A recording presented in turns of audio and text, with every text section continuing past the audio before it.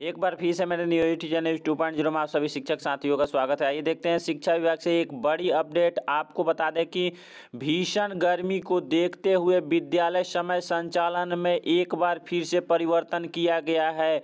तो कितने बजे से कितने बजे तक विद्यालय का संचालन होगा तो पूरी जानकारी के लिए वीडियो को अंत तक ज़रूर देखें। उससे पहले मेरे चैनल को अभी तक सब्सक्राइब नहीं किया है तो कृपया चैनल को सब्सक्राइब कर ले और बेलाइकन को प्रेस कर दे, ताकि आने वाला हर एक वीडियो का नोटिफिकेशन मिले सबसे पहले आपको। तो आइए देखते हैं वीडियो को विस्तार से। जैसा कि स्क्रीन पर यह पत्र देख रहे हैं।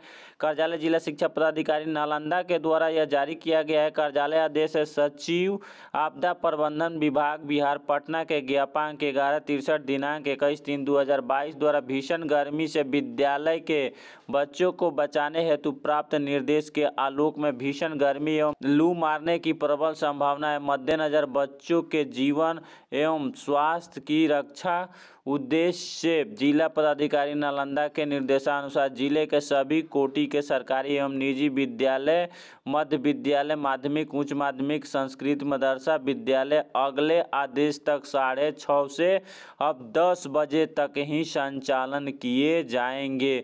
इससे पूर्व में कुछ ज़िले में का पत्र जारी किया गया था, जिसमें साढ़े दस बजे तक विद्यालय समय संचालन किया गया था।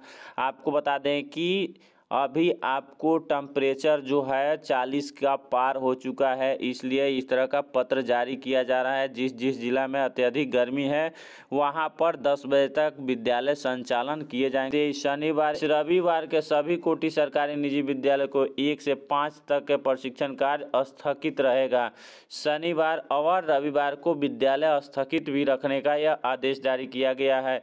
विद्यालय प्रबंधन को एतद द्वारा निर्देश दिया जाता है कि ऊपर उल्लेखित आदेश के अनुपालन शैक्षणिक गतिविधि को तदनुसार पुनः निर्धारित करेंगे। यह आदेश आपको तेरह पाँच दो हज़ार तेईस से प्रभावी माना जाएगा। तो यह आपको बारह तारीख का पत्र निकला है और तेरह से यह पूरे ज़िले में प्रभावित किया गया है और अगले आदेश तक अब 10 बजे तक विद्यालय संचालन किया जाएगा। तो वीडियो में इतना ही। वीडियो में लास्ट तक बनाने के लिए धन्यवाद। वीडियो को ज़्यादा से ज़्यादा शेयर करें। वीडियो को एक लाइक हाउस करें और चैनल को सब्सक्राइब ज़रूर करें इस तरह का शिक्षा विभाग से लेटेस्ट अपडेट पाने के लिए।